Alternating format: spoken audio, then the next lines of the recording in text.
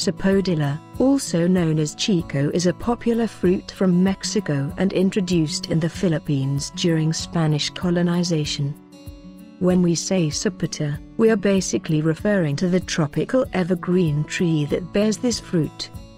Sapota is a delicious calorie-rich fruit belonging to the category of fruits like mango, banana and jackfruit.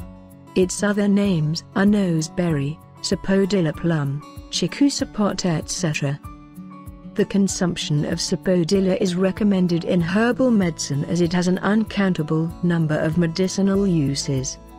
The sapodilla fruit is brown in color, it has a kiwi fruit-like texture but the outer surface is without any fuzziness, which looks quite like a rounded potato, has a brown skin with a sweet and grainy flesh.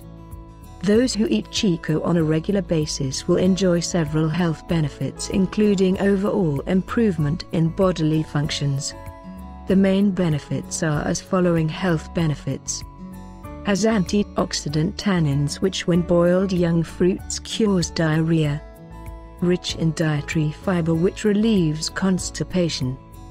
Helps protect the mucous membrane of the colon from cancer.